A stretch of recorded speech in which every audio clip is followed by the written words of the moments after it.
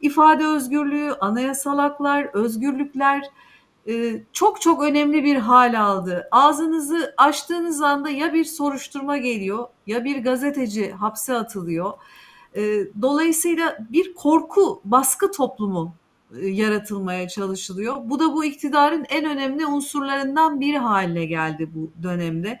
Bunun için ne söylersiniz? Son örneklerini gör, görüyoruz. Örneğin Sedef Kabaş bir e, atasözü söyledi. Cumhurbaşkanı'na hakaret ettiği gerekçesiyle yaklaşık 3. haftasında cezaevinde. Ee, Osman Kavala'dan bahsettiniz. Daha pek çok isim var böyle. Pek çok isim var. 3 gazeteci arkadaşımız yine e, cezaları onandı ce, cezaevine girecekler. Toplumun her kesiminden hatta çocuklar arasından bile e, Cumhurbaşkanı'na hakaret etmekten dolayı 1014 çocuk e, soruşturma açılıyor.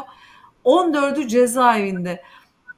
Bunu nasıl değerlendiriyorsunuz? Yani bu korku toplumu oluşturmayı, bu kamuoyunun üzerindeki bu baskıyı bunun bir etkisi var mı? Bu bir çözüm mü? Çözüm olur mu? İnsan özgürdür. Özgür insan muteber insandır. Yalnız insan yaşayamaz. Yalnız devlet de yaşayamaz. Hepimiz kurallara bağlıyız. Din ve ahlak, hukuk üçü bir arada düşünülmelidir. Hepsinin temelinde insan özgürlüğü var. İnsana saygı var. Eğer insan kendisini koruyamasa kanun insanı koruyamaz. Hiçbir kişiyi, hiçbir kurumu, Cumhurbaşkanı dahil kanunla koruyamazsınız. Halkın karşısına çıkıyorsunuz. Siyaset zor bir iş. Konuşuyorsunuz. Yüzünüzün ifadesinden dahi rahatsız olan insanlar olabilir. Karşınızda sizi sevmeyenler, beğenmeyenler, sizinle aynı fikirde olmayanlar var. Onları yöneteceksiniz. Onlarla bir arada yaşayacaksınız. Siz bir ailesiniz. Toplum büyük bir aile. Siz kendinizi korumak için yargıyı görevlendirirseniz o yargı bürokrasi olur.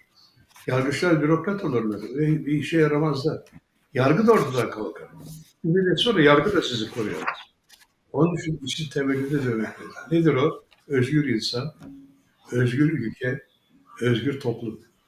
Türkiye'de bugün bu sıkıntıları yaşıyor. Sedef Kavaş'ın söylediğinde ne var? Alınganlık yapacak hiçbir şey yok. Eğer sakince düşünseydiniz mesele biterdi. Ama bütün, o bir Çerkez atasözü söyledi. Çok sevimli de bir kadın. Herkes bir Türk atasözünü dikkate aldı. Teşbihte hata olmaz. Teşbihte hata olmaz diye üzerine alındı Sayın Cumhurbaşkanı.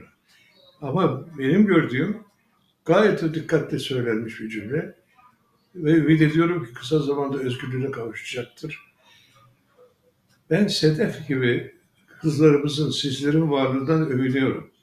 Hayatımızın boşa geçmediğini düşünüyorum. Çok da seviyorum sizleri. Size emanet ediyoruz. Eksik olmayın. Bu. Eksik olmayın e, Sayın Cindoruk. Çok teşekkür ederiz. Siz de iyi ki varsınız efendim. E, değer kattınız. Sağ olunuz yorumlarınızla, analizlerinizle. Çok çok teşekkür ediyorum yayına katıldığınız için. Bana güvenmeyin. Ben gideceğim. Siz kalırsınız. Kalanlara şunu söylüyorum. Aman sağlam durun. Ve sakın demagojiye ve yalanlara itibar etmeyin. Balonlara itibar etmeyin. Bu balonların hepsi uçar gider. Yerde gerçekler kalır. Hepinizin gözlerinden öpüyorum.